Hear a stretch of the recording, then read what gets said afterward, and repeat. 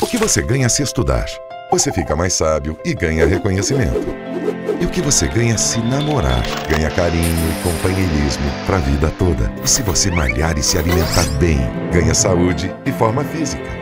E se você parar de fumar, você ganha qualidade de vida para aproveitar tudo isso. 31 de maio, Dia Mundial Sem Tabaco. Uma campanha Unimed. Viver melhor. Viver sem tabaco. Esse é o plano.